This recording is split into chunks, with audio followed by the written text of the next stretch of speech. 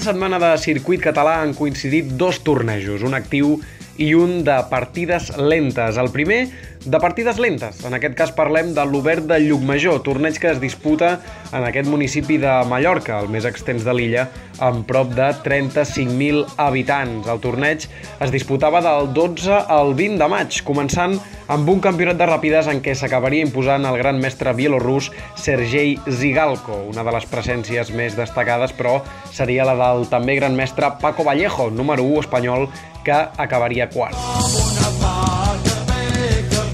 Més enllà de l'Obert, també es disputaria un torneig sub-2000 a 5 rondes, guanyat per Albert d'Aruella amb ple de punts, així com un torneig escolar per equips. L'equip Mallorca Isolani seria el campió, seguit pels clubs La Balanguera i en Roc. La setena edició de l'Obert de Llucmajor seria guanyada pel gran mestre espanyol Jaime Santos amb 7 punts, de fet, tenim un triple empat en el podi. El segon, el també gran mestre Sergei Fedorchuk, i el tercer seria el també gran mestre, en aquest cas català, Álvar Alonso.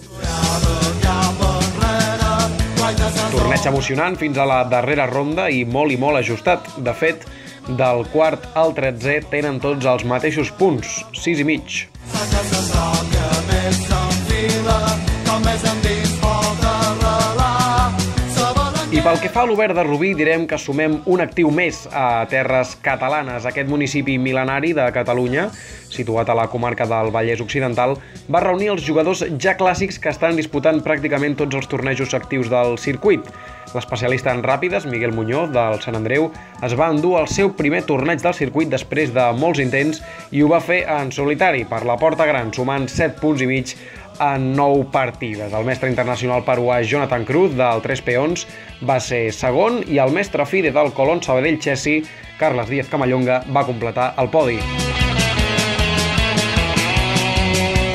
La classificació general del circuit català queda de la següent manera, amb la disputa del primer torneig de lentes, forta irrupció dels premiats de l'Obert de Llucmajor.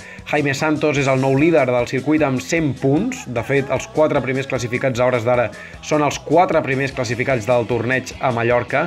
Entren al podi, doncs, Fedorchuk i Álvar Alonso. Dels vuit primers que abans de disputar-se el torneig, només Vázquez i Crisa mantenen posicions capdavanteres.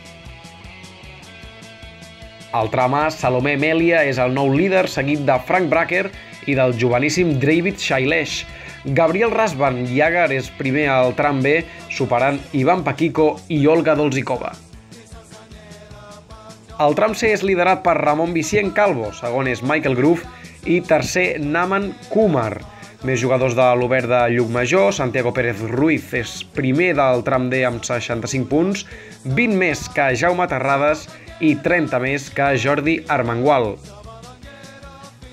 Antonio Ballester és el primer classificat del tram E, seguit per Jordi Baldo i Daniel Fentes. Diego José Trias és també líder del tram F per sobre de Joel Pérez i Juan Labrés i pel que fa als catalans, cop damunt la taula d'Àlvar Alonso, que agafa molt avantatge respecte a Miguel Muñoz, Carles Díaz Camallonga i tota la resta. Però recordem que això només acaba de començar.